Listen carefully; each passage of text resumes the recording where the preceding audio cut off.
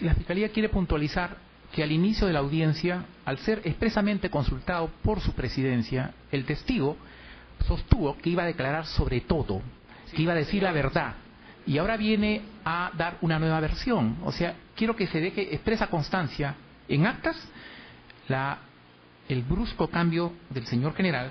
Al primero ha dicho que iba a aceptar todas las preguntas y ahora viene a decir que va a guardar silencio. Señor presidente, yo, yo quisiera... Sí. Señor presidente, este, si bien el testigo está protegido por el derecho de la no autoincriminación respecto a los hechos que son objeto de este juicio oral, dado que está el caso Barrios Altos y el caso Cantuta que no está consentido, sin embargo, la posición del testigo es relacionado a esos hechos. Exactamente. Lo que se pretende preguntarle o, indagar al testigo es sobre las transferencias de fondos de dinero al SIN, tanto como ministro como como jefe del SIN.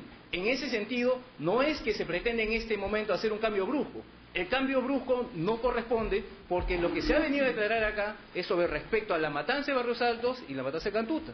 No, es, no se trata de un, de un tema de obstruccionismo respecto al desarrollo de este juicio. Señor presidente. Yo quería tomar un momentito antes de... Ratifico lo que acaba de decir el abogado defensor. Yo cuando inicialmente dije que venía a declarar toda mi verdad, yo he sido citado este proceso como testigo de los casos Barrios Altos y Cantuta. Y pensando que el caso de Barrios Altos todavía tengo el juicio en giro, no me interesa porque yo quiero hablar la verdad y lo que puedo aportar para la justicia, pero no de otros procesos. De manera que si me hablan de otros procesos, yo creo que tengo razón para decir que voy a guardar silencio en estos casos que todavía están en giro. Esos juicios todavía no se han terminado. Pero sí ratifico de que puedo hablar todo lo que sea conveniente en los casos que he sido citado, Barrios Altos y Cantuta.